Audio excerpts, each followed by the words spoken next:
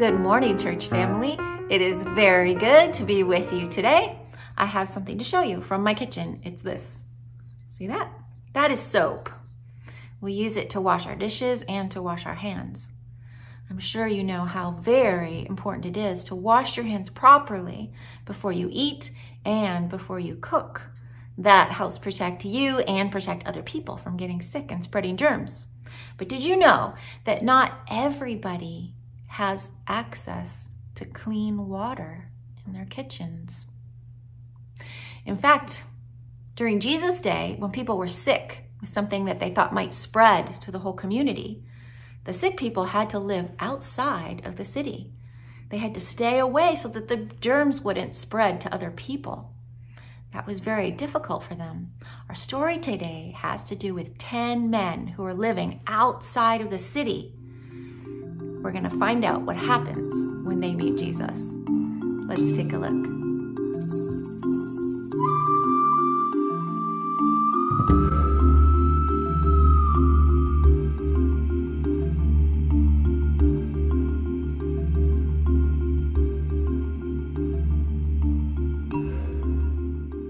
Jesus was on his way to Jerusalem when he crossed the border between Samaria and Galilee.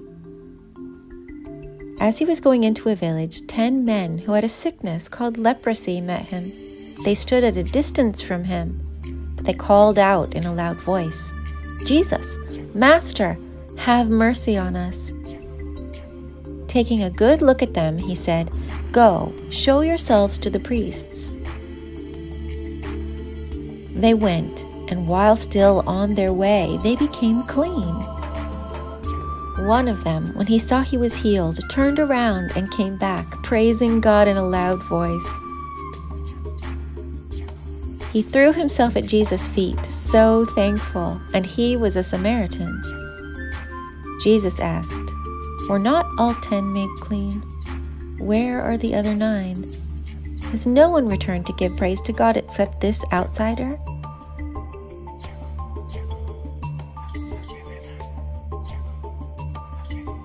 Then he said, Get up and go. Your faith has healed and saved you.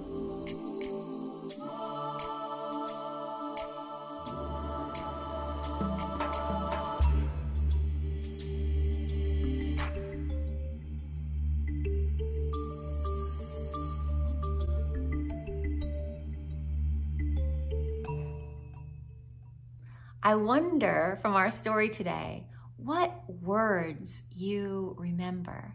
Did you notice how the men had to live outside of the city? But by the end of the story, one of the men was close to Jesus at his feet. Some of the words that I think about when I hear this story are the words clean and the words healed. What do those words mean to you? Clean and healed. That little word healed that Jesus uses at the end when he tells the man that he is healed. Very special word in Greek. And it doesn't just mean having good physical health. It can actually mean being restored, being redeemed, being saved. Isn't that amazing? Let's pray together. Dear Jesus, we thank you so much that you want to save us. You want us to be clean. You want us to be near to you. We thank you and we praise your holy name. Amen.